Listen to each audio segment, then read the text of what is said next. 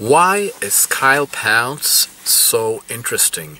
Why is he a popular YouTuber? Why does he have 3,000 subscribers? I know the answer, and that is um, that Kyle Pounds is living an alternative lifestyle. That's very entertaining. so, he's living the life you're not supposed to live uh, at his age. That is, um, when you're 40 years old, uh, society expects you to live in your own apartment. Uh, people expect you to have a job, pay your rent, uh, have a family, go to work early in the morning, and return home in the evening. Uh, provide a good life for your family, for your children. but Kyle Pounds has chosen uh, not to do this. He is, um, is living with his mother, although he's 40 years old. And that's considered to be a very, a very odd thing to do. So that uh, living with your mom when you're 40 years old, uh, living in her apartment. Secondly, uh, that uh, you don't have a job, a regular job. Uh, although he gets paid a little bit uh, by AdSense, his Google ads that he has on his YouTube videos. I also have Google AdSense on one of my other channels, and um, that's not uh, that very well paid. I don't know how much Kyle Pounds uh, gets, but I get in about 200 maybe $200 a year or something like that. Maybe he gets more money than that because he's more popular than I am. Kyle Pounds uh, also uses recreational drugs, living with his mom using recreational drugs, and he has the this odd project, his timeline, uh, somewhat incomprehensible um, uh, academical work, uh, typing uh, years of history uh, on his um, web page that is also a very alternative hobby. Most people people they like to play tennis, uh, soccer, things like that. But he is uh, much more into the, this uh, history thing. I also like history, by the way. Uh, then what? What more alternative stuff? Is to be found in the life of Kyle Pounds. You know the the thing that he's uh, he goes to bed very late at in the evening, and uh, sometimes he even stays up all night to uh, do some work on his timeline. That's alternative way of living.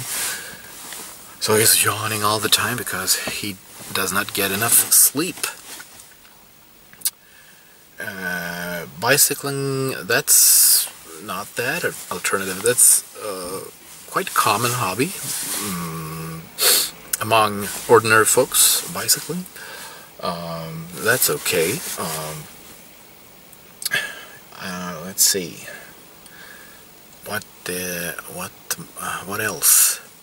You know the thing that he he is always um, talking about things uh, he has plans, but for some reason he postpones his plans. Uh, his plans are not coming, not becoming real.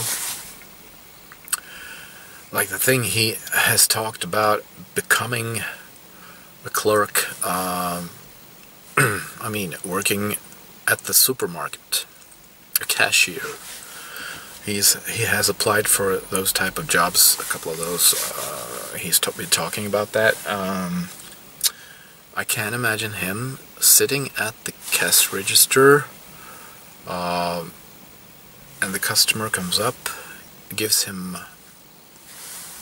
the, the money uh, wants to pay for for the, the, the, the item that he has bought to the customer and then you have to be uh, give him the correct change as a cashier.